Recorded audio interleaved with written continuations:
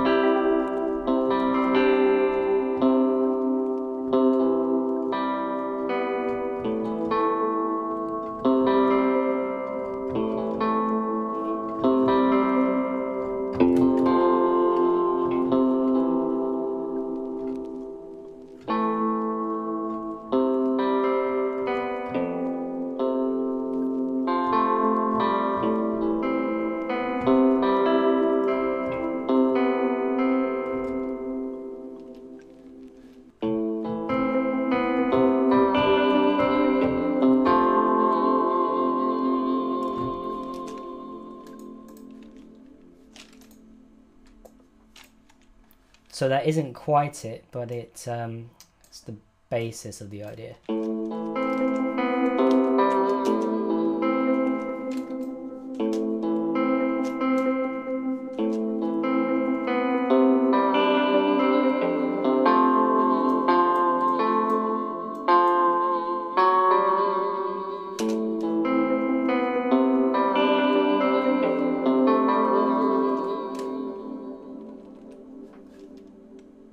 So that's the melody down. Um, it's sort of uh, like an emotional vibe, and the sound in Omnisphere luckily has a bit of uh, ambience to it already.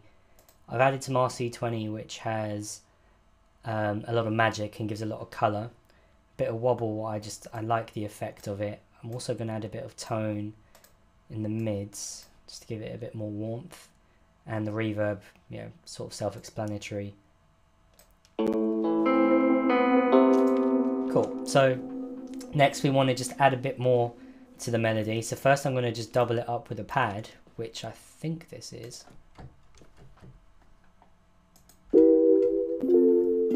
So okay, that's some keys. Now hopefully that will do what I need it to do. Perfect. So all that's doing is just adding a bit more depth to the melody because the guitar can be a little bit thin by itself sometimes. Um, and I don't want that to be too overpowering and I want it to be slightly EQ'd out. I've got RC20 on it because I put RC20 on everything to be honest. I've added some width, um, a ton of reverb and a bit of noise as well.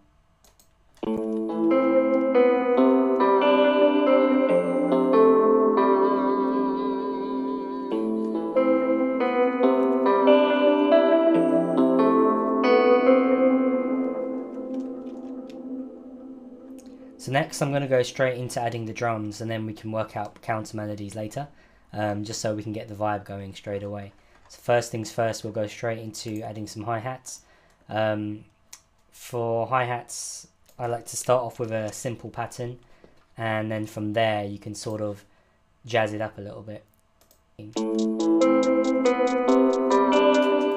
Make sure you add a bit of randomness to the panning. I put it at least 40 to 50% depending on the vibe you're going for. And I'm actually going to change that hi-hat to something a bit more um, hi-hatty, if that's a sound. Let's try.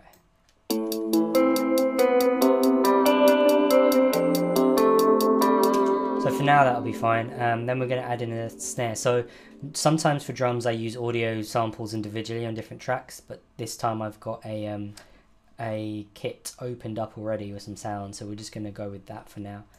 Um, and sometimes I play them live. Sometimes I will draw them in for the purposes of the video. I'll draw them in though. So a standard clap I mean, you can't really go wrong. Well, you can go wrong if you put it in the wrong place, like I do all the time.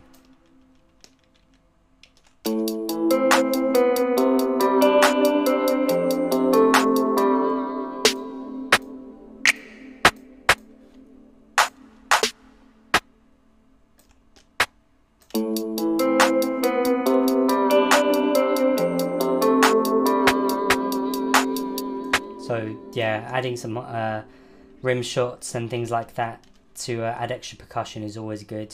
I like to have them sort of sparsely, depending on the pattern. And then doubling up your claps is always a good shout with snares or snaps or anything. I like to do it on every second hit, just um, adding a little snap, which will have a bit of reverb on there.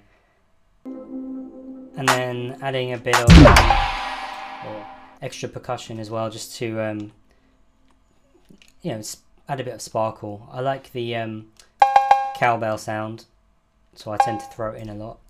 For now, that'll be okay because we've got what we want. And next, we're going to go straight into the 808. Now, if you've seen an Ocean vid, uh, you'll know about the trick of playing them in a higher octave first, so you can actually hear the tone of the sound. Because as you get deeper, you can't really hear much.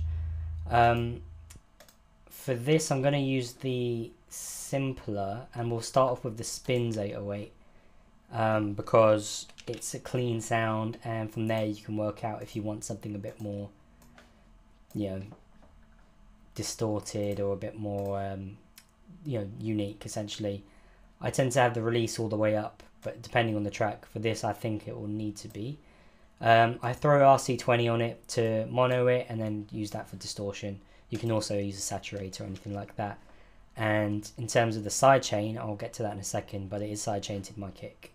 So I would just copy this over and then take out all the notes except for where the kicks were. It's rumbling a lot because it's in a very low octave right now. And then I would just uh,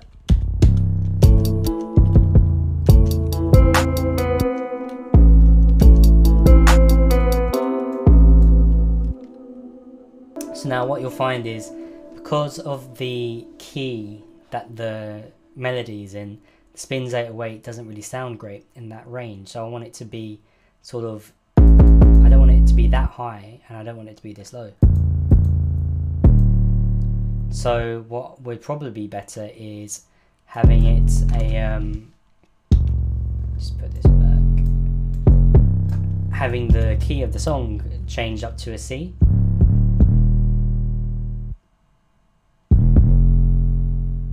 actually a D I like the sound of a bit better. So I'm going to change the pitch of this.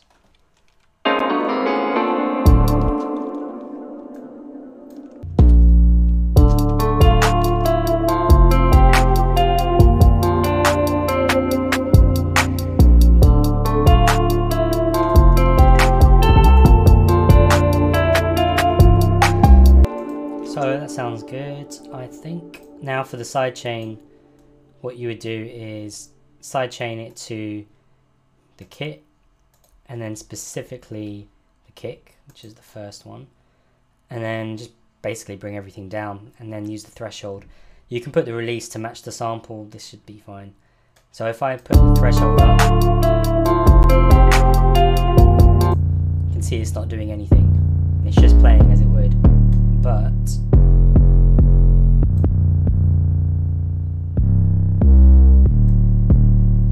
and then you play with it until it sounds right because you can see it's uh, it's now coming into effect. Depends how you want it to sound. Just go by by your own ear and taste essentially as with everything in music. So I like to arrange a little bit as I go along and that just makes it easier at the end. Um, and you'll see why in a second because it'll help you give you an idea of structure as you're going in terms of what you need to add. So I know I need to add a few more melodic layers, but I also want to add the like a synth bass sound. So for parts where the 808 isn't playing in terms of a breakdown or intro or chorus or anything, this will work. So um, I have to remember it's in a D. The sound is just a growler, um, you know, Moog bass synth.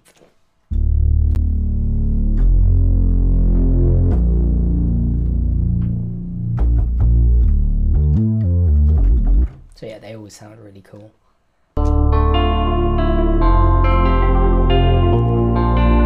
So now what we would do is just um, move everything over and then what we want is the guitar and then the growler comes in and then it jumps into the 808.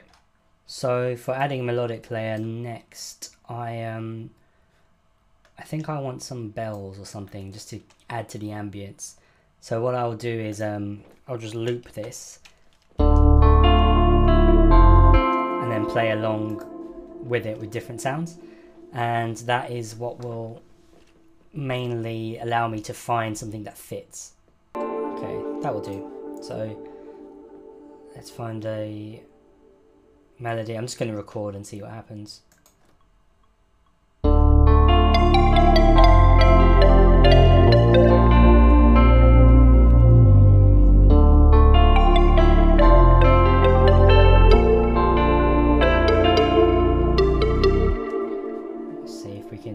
Something out of that. Okay, I like the sound of that. And I'm just gonna, keeping in mind I'm arranging as I go along, just work out where this would come in. So it would come in before the drop and then again in the middle of the verse essentially.